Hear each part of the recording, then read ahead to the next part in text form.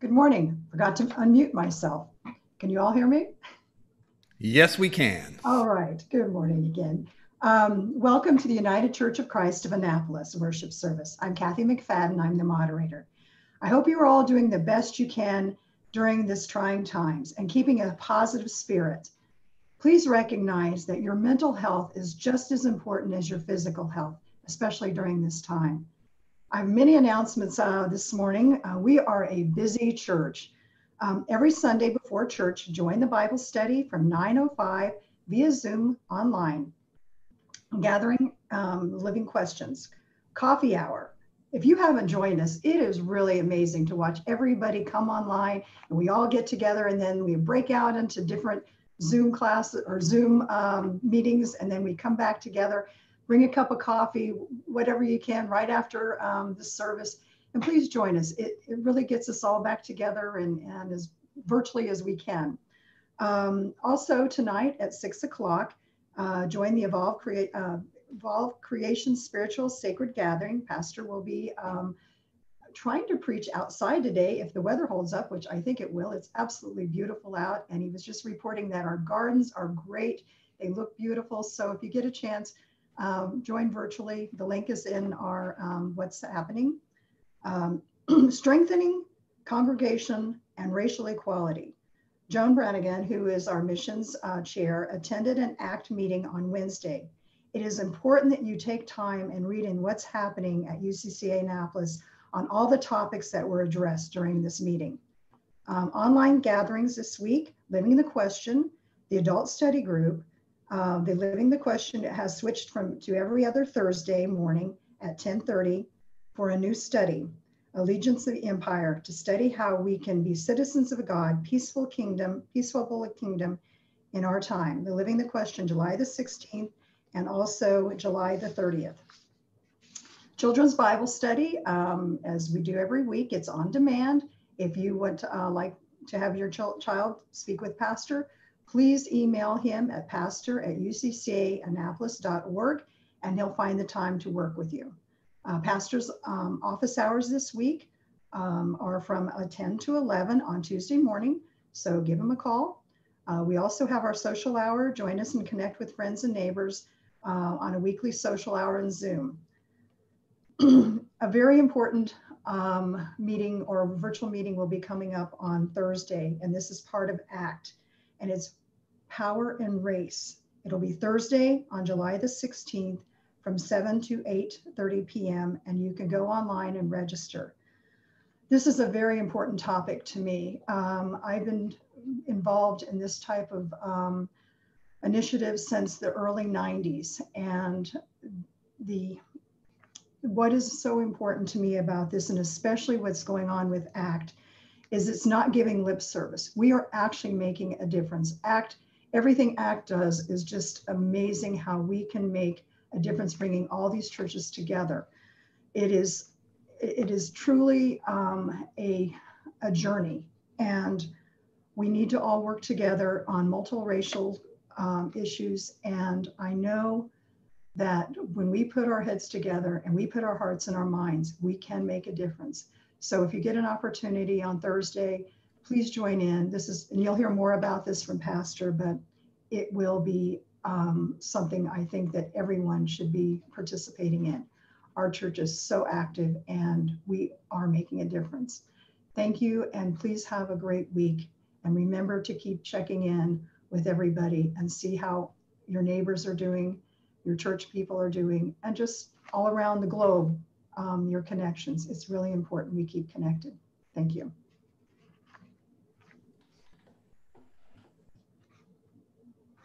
The grace and peace of Christ be with you.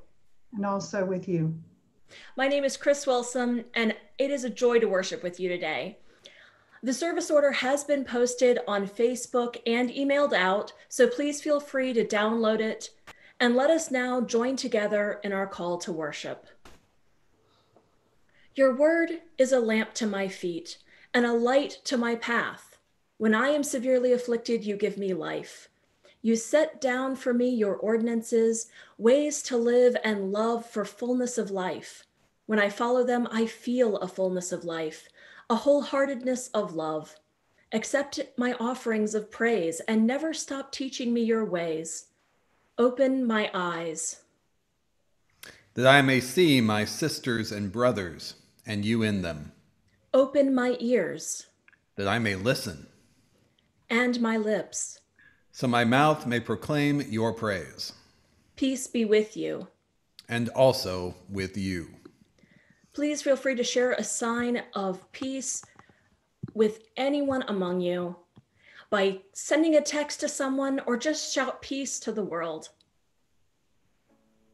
Peace.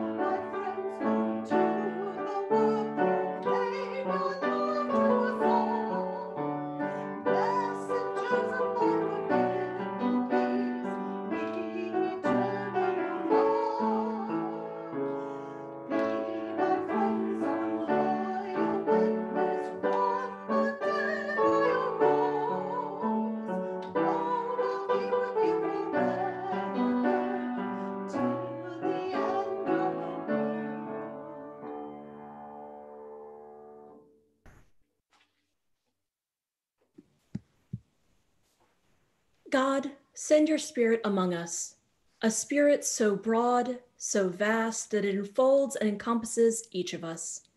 Though some may feel they do not deserve this spirit of love, remind us that you send it to us regardless. So, God, whenever and wherever each one of us is, send your spirit, gather us in, draw us forth from fear, so that our mouths may open in wonder and sing out praise. Give us hope that fear will not contain us, and let us listen to the sounds of all the earth. This we pray as your people, in the name of Jesus, one of us. Amen. People of God, trusting in God's forgiveness, let us in silence confess our failings and acknowledge our part in the pain of the world.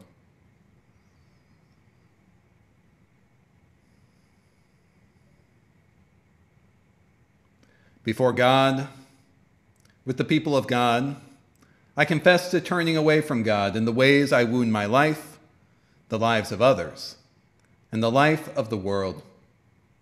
May God forgive you, Christ renew you, and the Spirit enable you to grow in love. Amen. Before God, with the people of God, we confess to turning away from God in the ways we wound our lives, the lives of others, and the life of the world. May God forgive you, Christ renew you, and the Spirit enable you to grow in love. Amen. Amen.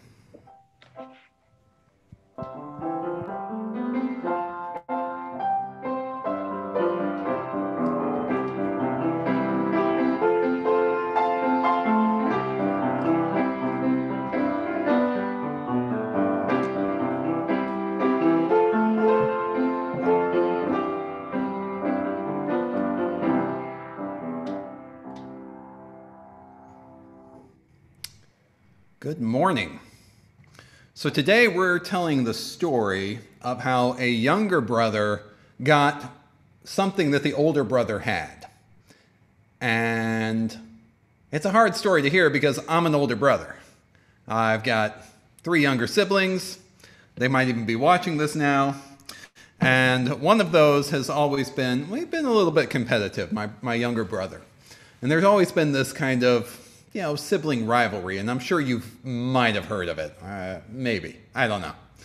Um, but we had this, this kind of a sibling rivalry thing going on. And the story today that that's, we're going to share in the, from the Bible is in the book of Genesis, and it's about Esau and Jacob, and they were twins, but not the kind of twins that match each other. They were fraternal twins, and Esau was very different from his younger brother. Esau was rugged and powerful and strong looking, just like you know older brothers are and and Jacob was was smooth and, and nice and, and like being indoors.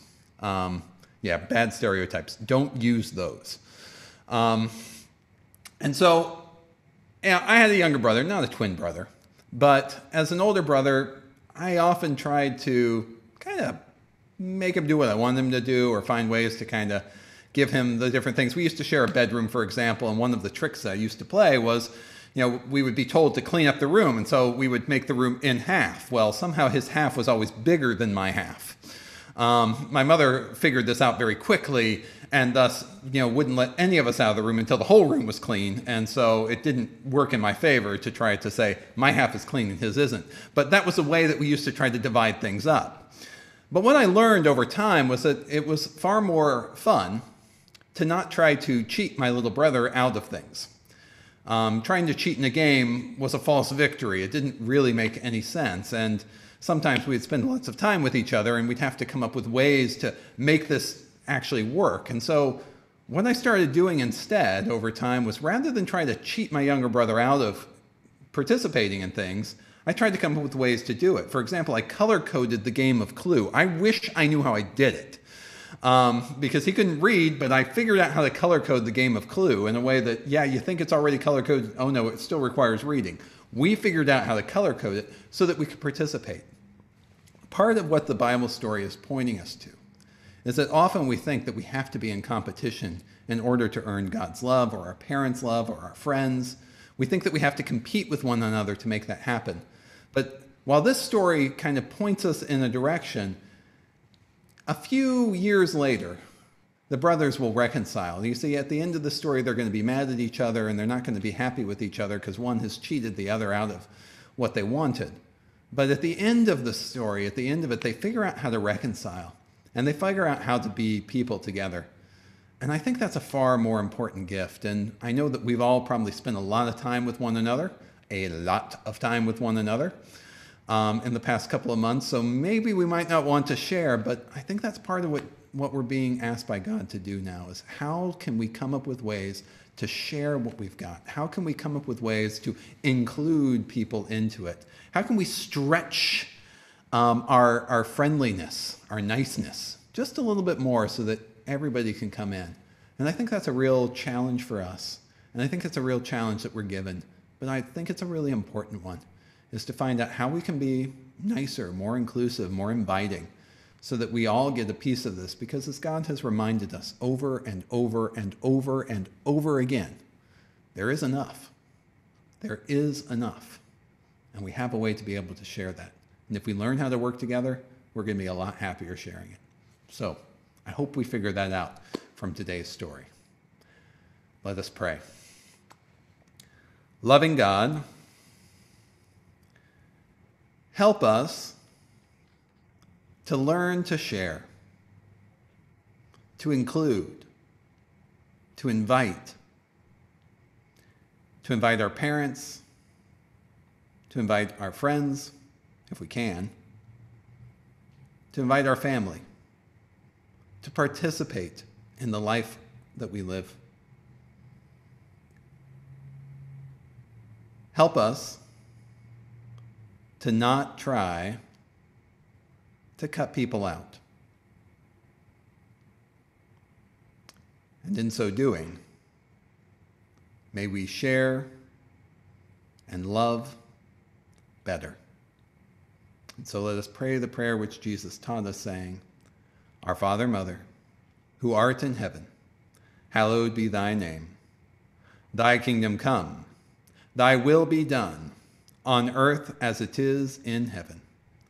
Give us this day our daily bread, and forgive us of our debts as we forgive our debtors. And lead us not into temptation, but deliver us from evil. For thine is the kingdom, and the power, and the glory forever. Amen.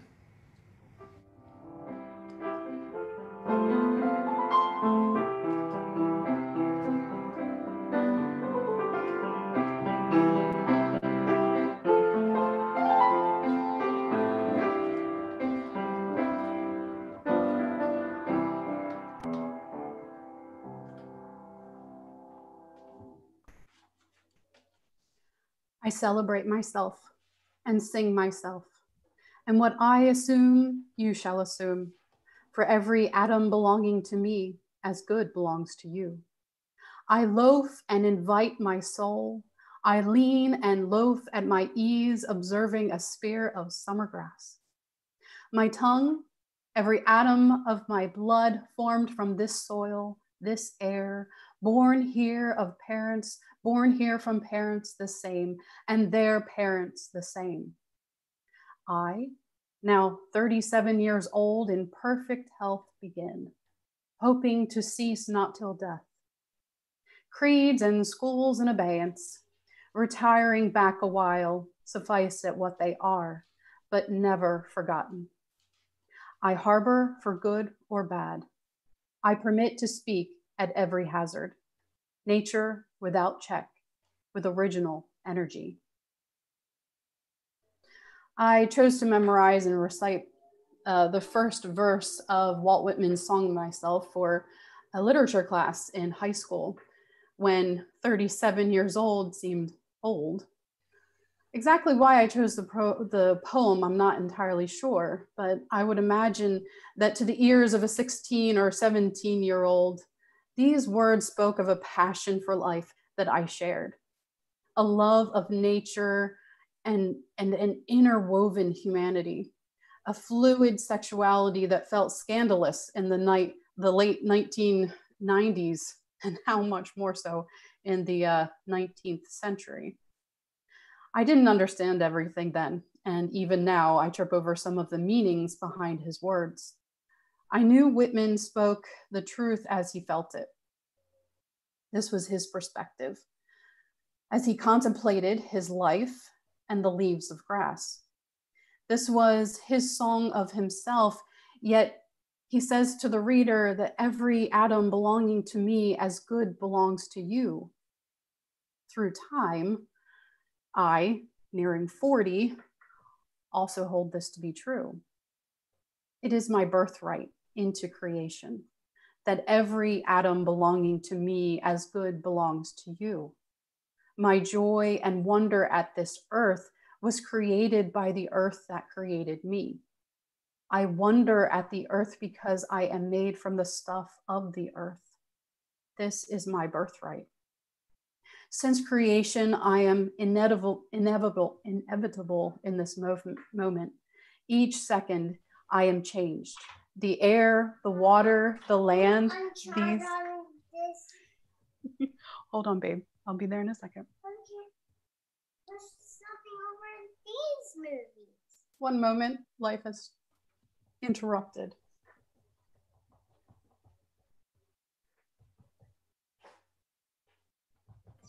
Go to here. Thank you. Such is life now. The air, the water, the land, all of this. These are part of my birthright to steward as I steward the cells of my body, to be given over in time back to the earth and passed on to something or someone new. The never forgotten creeds and schools are my birthright too. All the knowledge, the science, the philosophy, the world of religion, all that has been created by humanity, this is all my birthright, mine to harbor for good or bad. When I first started thinking about birthright, this poem popped into my head, along with the stories of Jacob and Esau, a birthright traded for soup, of Moses, a birthright unknown until he became an adult, of Jesus and God, a birthright reimagined and everlasting, and we, the bearers of the image of God, an inherent birthright. I was not born into a church going nuclear family, even though our extended family was filled with ministers, preachers, deacons, choir directors, and religious churchgoers. I don't remember ever going to church, ever as a family. Looking back on our small town, I couldn't tell you which church we would have gone to as a mixed race and very complex family. My sisters and I did, however, go to vacation Bible school every summer. And from the age of three to six, I attended a church preschool. Once I learned how to read, I often read a book of children's Bible stories. I have harbored these stories since then. I've studied, debated, loved, and loathed, unlearned, and relearned these stories over and over again. They are my birthright to know and grapple with. How else would I have understood Western culture and literature without understanding the Bible? I wonder if I uh, heard as a child the psalmist um, saying, one second. I wonder if I heard as a child the psalmist say, your decrees are my heritage forever. They are the joy of my heart. I incline my heart to perform your statutes forever to the end. How would I have known those statutes if I did not study them? I'm thankful for my teachers and professors. I'm thankful for my family and for the church that encourages an ongoing study and grappling with the texts and I'm thankful that we have decided to teach the stories of the Bible to our son from an early age so that he learns this part of his birthright, his foundation for understanding the world as it is, the history of the Western world, the richness of literature, relationships, and God. Now, these are not light subjects to teach a child, but they are his to harbor for good or bad, allowing him to speak at every hazard with authority, giving him an understanding of the true power and energy inherent in nature. That is his power, his energy, and his birthright, his heritage forever. And I hope the joy of his heart as it is mine. Thank you, church. Love you all and miss you all.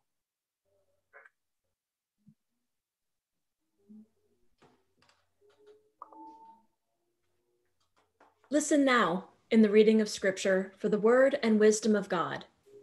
We open our hearts to the word and wisdom of God. From Genesis 25, 19 through 34, the message translation. This is the family tree of Isaac, son of Abraham. Abraham had Isaac. Isaac was 40 years old when he married Rebekah, daughter of Bethuel, the Aramean of Paddan Aram. She was the sister of Laban the Aramean. Isaac prayed hard to God for his wife because she was barren. God answered his prayer, and Rebekah became pregnant. But the children tumbled and kicked inside of her so much that she said, If this is the way it's going to be, why go on living? She went to God to find out what was going on.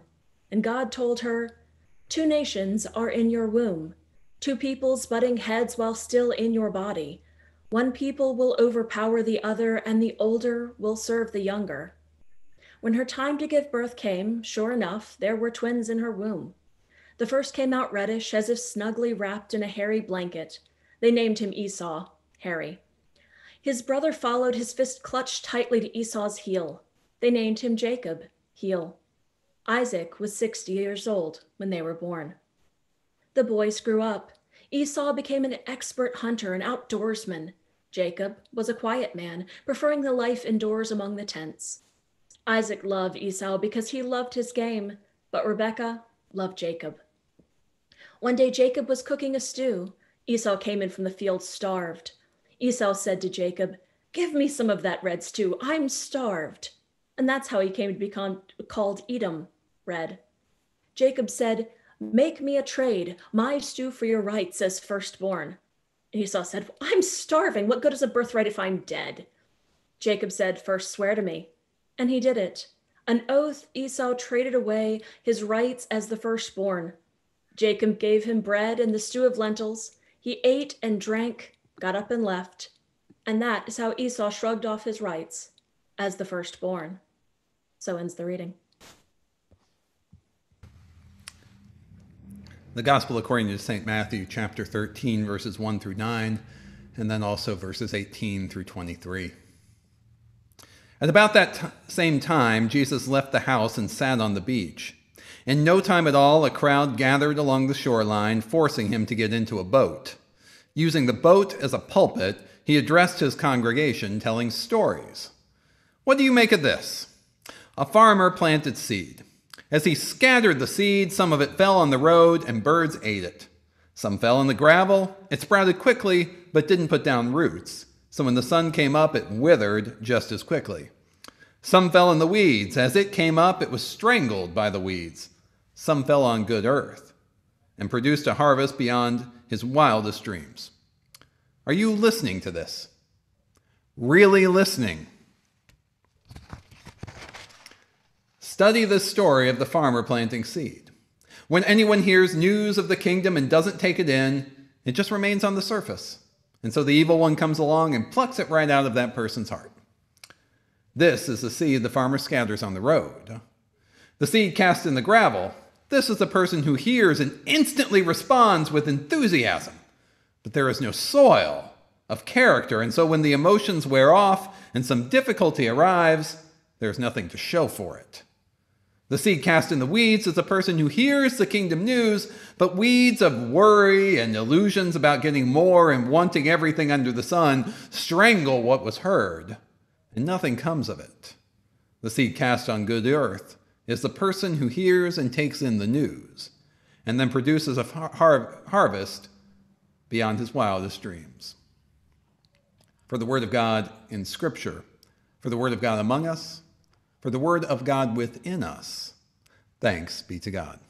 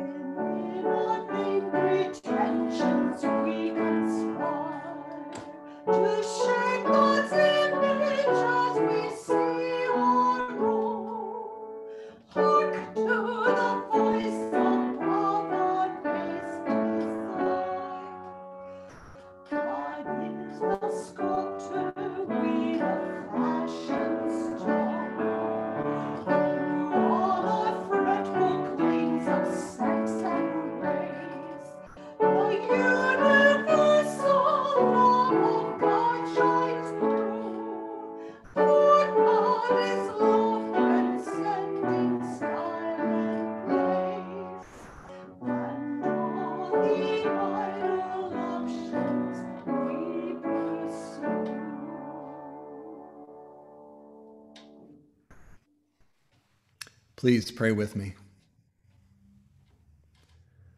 O God, may the words of my mouth and the meditations of all of our hearts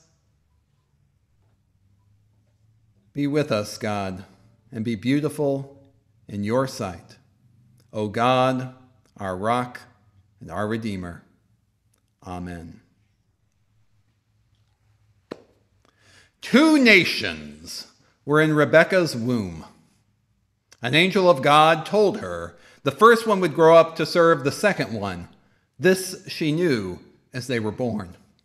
The eldest, Esau, rugged, hairy, red, growing up to be a self reliant loner who was tough, a hunter, manly, his father's favorite, the ability to bring in the game.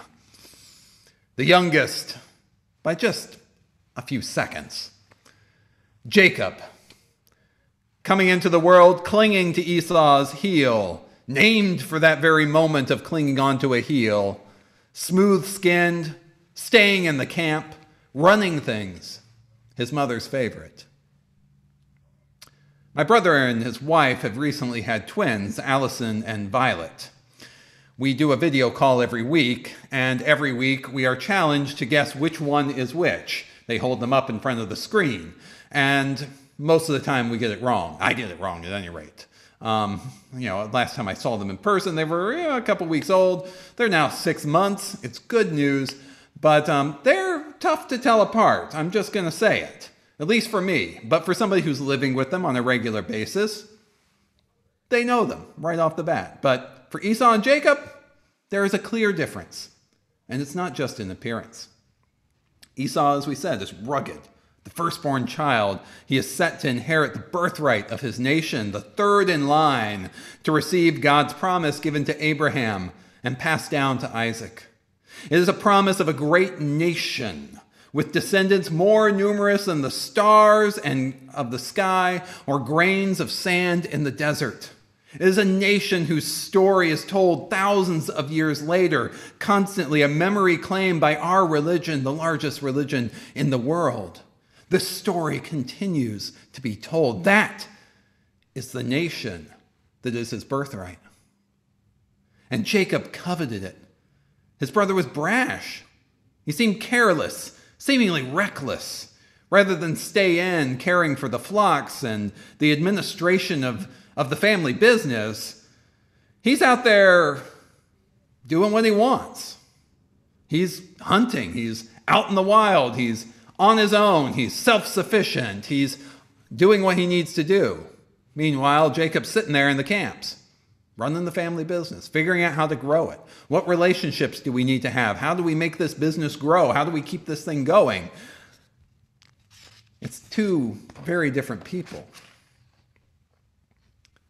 And I think that Esau, like anybody who desires that self sufficiency, he didn't want anything, he didn't want to be dependent upon anything. He prided the ability to be on his own. He prided the ability to stand on his own two feet. And he had that look, at least the scripture seems to convey it, this look of capability, as if he could do anything, this red hair, this hunter. He could fuse that manliness, that strength, that ability to get things done. It was the sort of thing we might want, right? In a leader. Something we might want in a nation. But as he came into the tent one day, he demanded a bowl of pottage, of stew, of red stuff, lentils, from his brother. And his brother asks him for his birthright in exchange an entire nation for a bowl of soup. And Esau says, What use is a birthright if I die of hunger? Perhaps it was a bad day for hunting. Who knows? He takes the bowl, and the birthright is shrugged away, despised, transferred. I was taught as a child that Jacob tricked him. In fact, I even just shared that same thing in our children's message. There was this trickery going on. And for many years, I believed this was true. By trickery, Jacob had taken what was Esau's by right.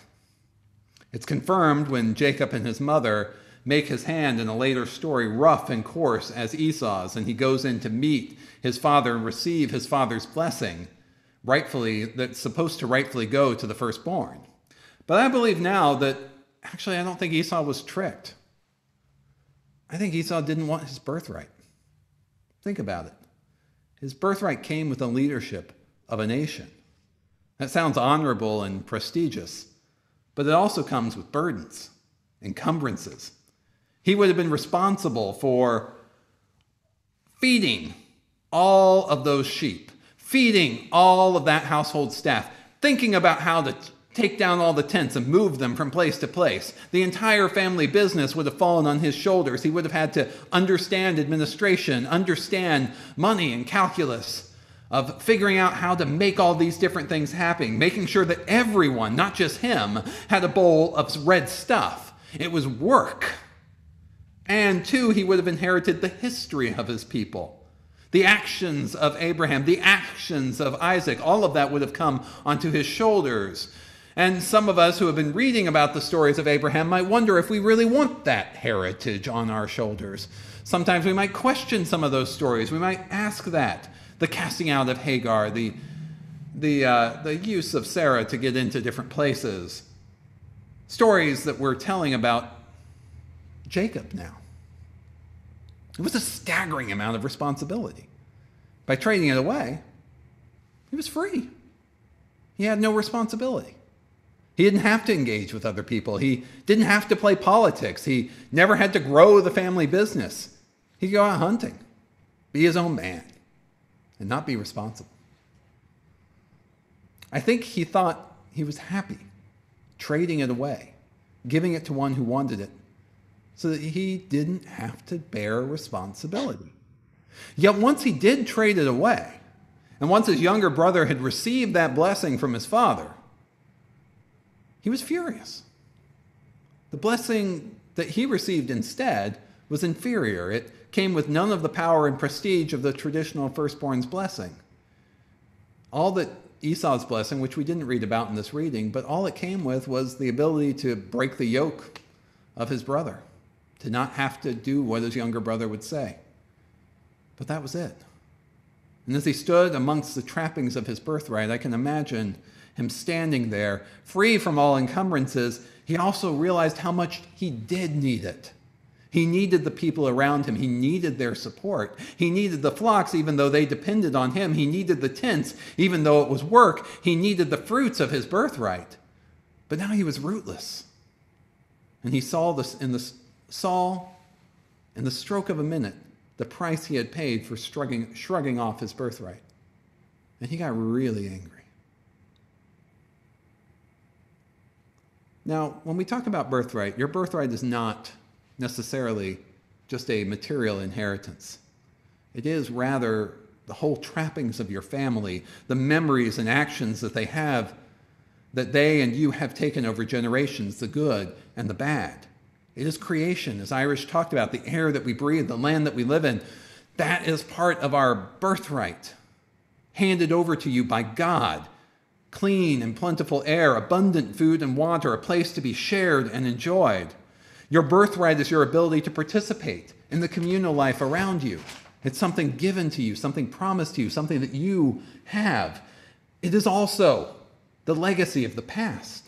It is poor decisions your parents made. It is poor decisions our great great grandparents made. It is slavery. It is silencing women. It is prioritizing materials over faith. It is Jim Crow. It's the lack of a national investment in the universal health care system where people are go funding themselves to try to get care. That is part of our birthright. It's a wholesale handing over of middle, middle class, working class jobs to overseas factories for cheaper made goods. It's also the union labor, the labor union who sat down on strikes to win weekends, just the ability to have weekends, and to end child labor. It's the farmers who fought the Dust Bowl. It's the ones trying new practices to grow sustainable, chemical free agriculture. But it's also those who use chemicals such as Roundup with abandon. It's decisions made about Native American reservations and expanding American imperialism following the Spanish American War. It's decisions your ancestors made about where to live and who could live there and what actions to take. It's what you decide to do as a family now and how you care for one another and what you're handing down to the child or the children or to the people in the community around you. Those decisions reflect the health and nature of their birthright. It is overwhelming. It's overwhelming. When you put it all together in context, it is a lot. It is as constant, or it feels as constant, as Google's internet surveillance. And it is just as inescapable our actions today are formed in part by the birthright we have received, flawed and beautiful as it can be. But our actions too impact the birthright we will pass on. That can be as personal as the birthright you hand to a child or, as clo- or a close loved one. And it is as expansive as the birthright that you hand over to society and the world as a whole. The short answer is this your choices matter. Will you shrug it off?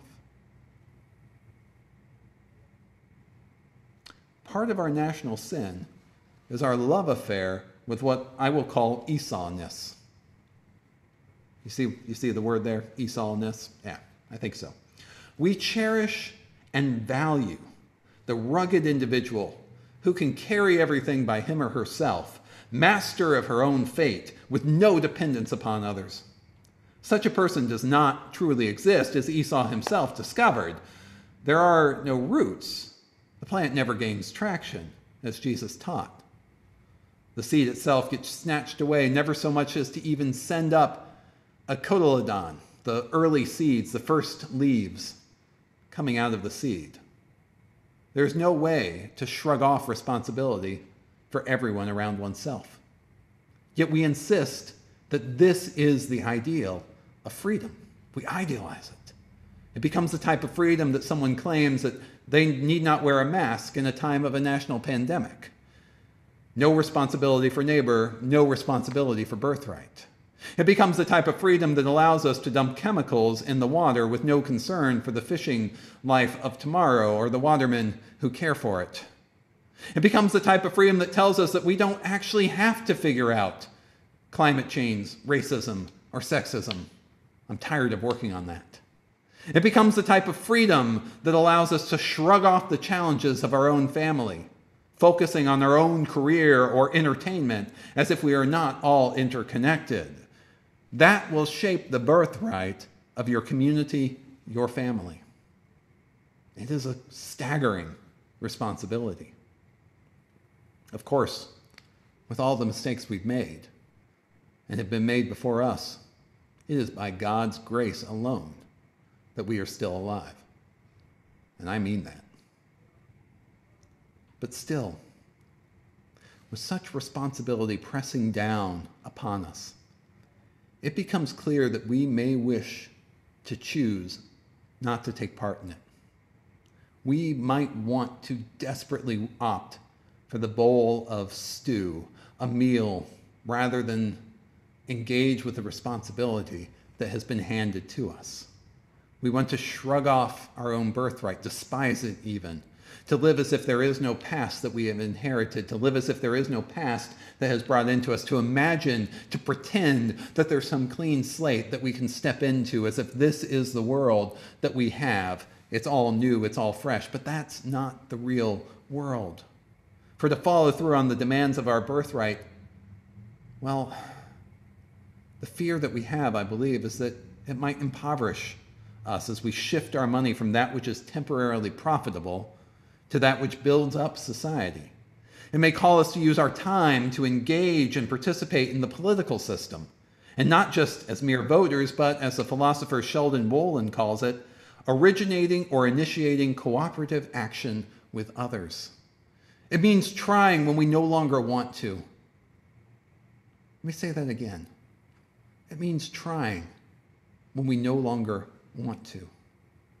It means not selling our birthright, this country, this faith, your family, for something cheap and replaceable. Because a birthright is not replaceable. A bowl of stew is. Stuff is. Even selfishly used time is replaceable when compared to the birthright that you may want to walk away from. I'm going to tell you why I care about birthright. I struggled with this message today. I struggled with it. And it's a good thing that, you know, we have stories of Jacob wrestling with God because Jacob too struggles with his birthright. But I I struggle with birthright because I have a legacy that I want to leave to my son. I can't change the entire world around me, but I also know that I can't insulate the world either. He's going to find out. No matter what I do. There's no way to hide that in there. So I have to recognize that what I do, what Irish does, what my family does, all of that is inherited on those tiny little shoulders. I want to leave him the legacy of a parent who so cared so deeply about his son's inheritance that I refused to do nothing about injustice, about racism, about climate change, about sexism, and more. I want to leave him a legacy that goes beyond activism or philanthropy and invites deep civic engagement, which is why I'm proud of my work in helping to found Anne Arundel Connecting Together, or ACT. It's why I'm going to that workshop on Thursday, and I hope you will too. I want to leave him with an understanding of what a lived faith means, which is why this church matters so much to me. This is the place where my child encounters faith, encounters God, encounters the sacred stories, encounters the song, and it is painful that we can't gather in person to hear those stories, but we're doing the best we can. And each night we close with a, with a book from the Jesus story which is a collection of stories from the Bible that are written for children. Because I had those stories as a child in my non church going childhood, at least when I was younger. But I remember those stories. I want him to have those stories, and I want him to see a faith community that lives into those stories, that carries them with them, that takes them seriously, because that's what it means to be a child of God in this time and in this place, and to have hope. To have hope that his life has agency and purpose. I believe it comes and it's rooted in the soil of this church. And I say that specifically about here in this place. But I also want him to have a real and present father, which is why I have to give up time and all of those other things and the work that I do professionally, and the work that I do in my own time, and the work I do in the church to make time for him, to throw a baseball, to build a sandbox, to find time to be with family because that matters too. And we have to have that ability, that rest, that space, that Sabbath, that we can continue those connections with the people that we love and who love us. We don't, they don't have to be children, but you yourself are called to figure out what those relationships are. What is the birthright that you are leaving? What is the legacy that you are handing down? What is your place and participation in it? Because this I know, each and every one of you is working hard on it. I know you are. I know that you are trying to figure out how to live this life, how to pass something on well, how to take care of yourself, but also how to take care of those you love, whoever and wherever they may be. I know that we're working on all of those things because that is what it means to have a birthright. That is what it means to pass it down. We care deeply about that, and I know you do. So, the question that this asks, the question that this story asks, the question of Jesus and the seeds asks, is what kind of soil are we putting forth for the people who come after us? We have inherited a birthright, a faith, a nation, a family. We have inherited all of that, and some of it is really messy, and some of it's not exactly what we want, and some of it's stuff that we really wish we could walk away from, but it's still there. And we still have to grow in it. But we have, by the grace of God, been blessed to be called into a place together in places of family and places of church and places of community to roll up our sleeves and to do the real work of creating a space for the community around us, of creating a space for the people around us, of creating a space for ourselves too. And I believe that this is what birthright means. I believe this is what we've been charged with. I believe this is how we create a place where plants can grow, where our, the generations that come after us can grow to give forth good fruit. And that gives me so much hope, even in this moment. Even as bad as the news may be, and as our Bible study can tell you, even as dark as Ezekiel chapter 7 can make it look, we are blessed by God to be together, to work on this together, to have hope and to have the agency and the ability to make changes here, there, and everywhere. Thanks be to God. Amen.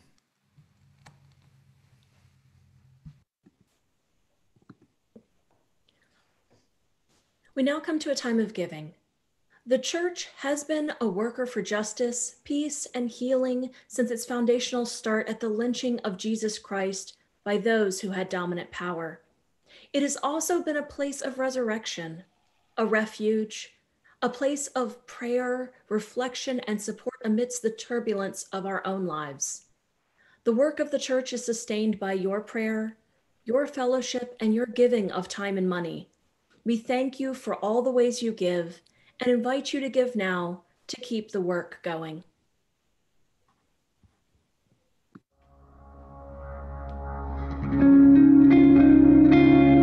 Lord, Lord, open unto me.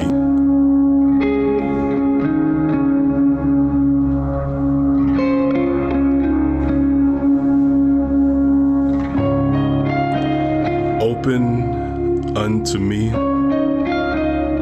light for my darkness.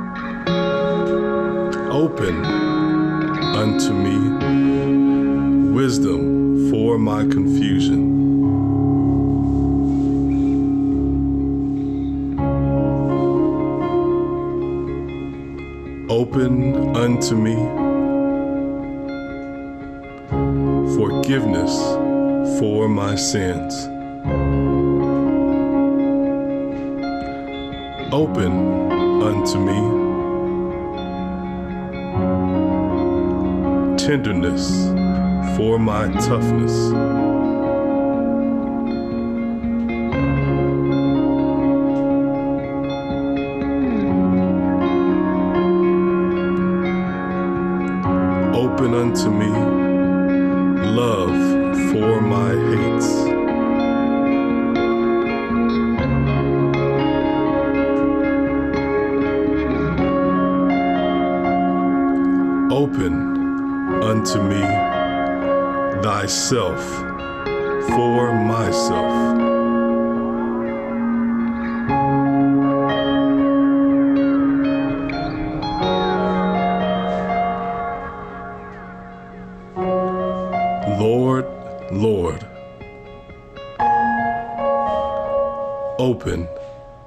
Unto me.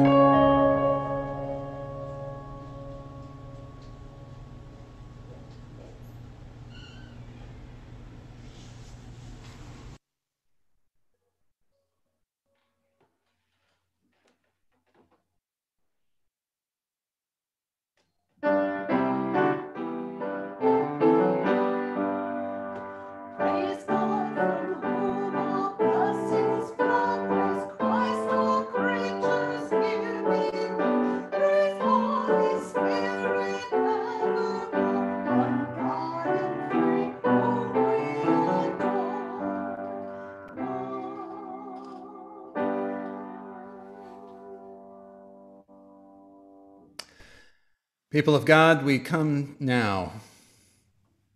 We come now and we gather before God with thanksgiving for the ability to give, for the ability to give of ourselves, the, for the ability to act, the ability to love, and the ability to share. Oh God, bless what we are able to give in our prayers, in our work, in our love, in our care, both for ourselves, for the people we love, and the community around us. All of this we pray in Jesus' name. Amen. And friends, we now turn in prayer to the prayers that we bring into this place prayers of hope, prayers of joy, prayers of sadness, sorrow, and longing as well.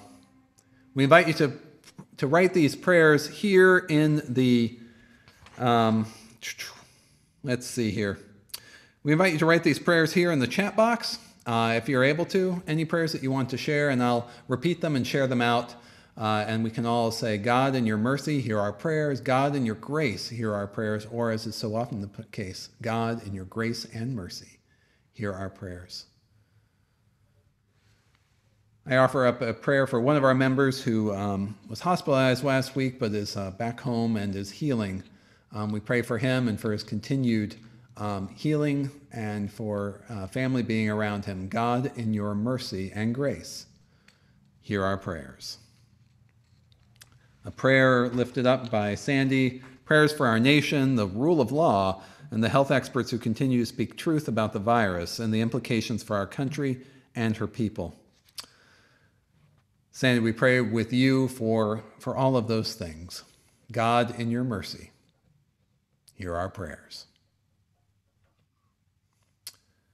We pray as well for, for this church, for the work that we are called into in this moment.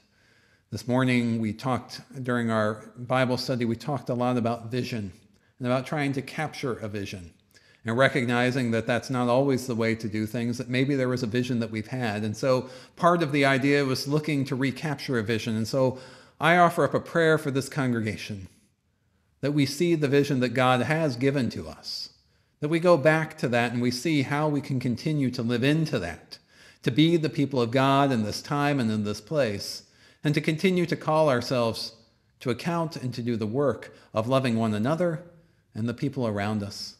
God, in your mercy, hear our prayers. Prayer as well comes into the chat room um, from Kathy McFadden. Prayers for my mom who lives in Texas. Um, lives in Texas, and to um, she is looking to see her test to see if she has COVID 19. She's feeling better, but feeling nervous. So, Kathy, are you saying she had it? So she did not, but she has not been well, and so she's continuing to, to heal. Kathy, we pray for your, um, for your mom. God, in your mercy, hear our prayers. And uh, prayer from Rick as well prayers for all people that cannot get relief from the hot weather. God, we pray for all those who are suffering from the heat right now. We know that warming centers are being opened up around the county. So we pray for them. God, in your mercy, or cooling center, sorry. God, in your mercy, hear our prayers. We pray as well for those who are lining up still to receive food across this county through the efforts of Feed Anne Arundel, which was the focus of our mission for two months. Of 10% of our collections went to these went to this, for totaling an excess of $7,000. We were able to support efforts to feed, and $7,000 would feed about 70 700 people, 700 people. Um, so the idea of being able to feed 700 people in the midst of lines where we know that thousands are being fed, one of the pantries that we helped to launch through Feed Anne Arundel at Tyler Heights Elementary celebrated or marked 15,000 people served in the course of three months. We recognize that the needs are strong, that there is a lot of work to do. God bless the work of those who are on the front lines. Bless those of us who are called to help, that we may be sustained and able to continue to do the ministries which you call us to. God, in your grace, hear our prayers. We pray as well from a, a prayer from Laura for prayers of relief from anxiety and for renewed motivation. Laura, God, in your mercy, hear our prayers. Prayers from John, prayers for safe travel uh, as his son Mark drives this week from Denver to Annapolis and as he drives with him to New York City to start a new job. John, we pray for your travel and we pray for the travel of your son. God, in your mercy, hear our prayers. Prayers from Hildy for our emotional health, for courage and hope of relief. God, in your mercy, hear our prayers. And prayers from Iris for a high school friend whose young son has leukemia. We pray for his healing in this time. God, in your mercy, hear our prayers people of God for all these prayers that we have shared, prayers we have spoken, and prayers we have not, prayers that we have held to our hearts, but prayers that are nonetheless being carried by us. God, in your grace and mercy, hear these prayers. And let us close with the prayer for peace, which is printed in our bulletin. O loving God, Spirit of hope and peace, lead us from death to life. Lead us from falsehood to truth Lead us from despair to hope, from fear to trust. Lead us from hate to love, from war to peace. Let peace fill our hearts, our world, our universe. Peace, peace, peace.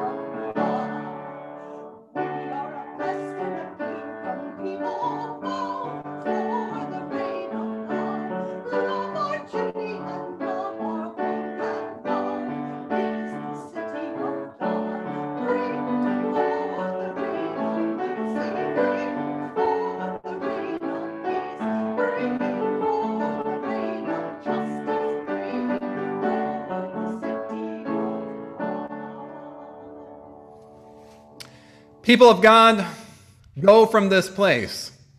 Maybe it's just going from one room to another. Maybe it's going out into the backyard. Maybe it's going onto the street in front of the house. But wherever it is, and wherever you journey, in this time and in this place, go forth from this place and know that God loves you. Go forth from this place and know that no matter what has been placed upon your shoulders, what responsibilities you have been called to bear, that you can bear them. That the people of God are here with you, to bear them with you. That we are challenged one another to carry that yoke with you and to not shrug off the birthright which we have received, but also to know that justice is with us, that love is with us, that we are called to do this one with another so that there is good soil, so that the seeds may sprout and hope may reign abundant, so that love may win.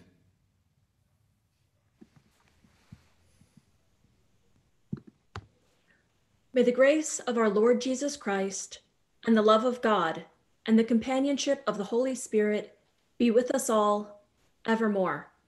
Amen. Amen. Friends, as we go from this place, we invite you to join us for the coffee hour, which begins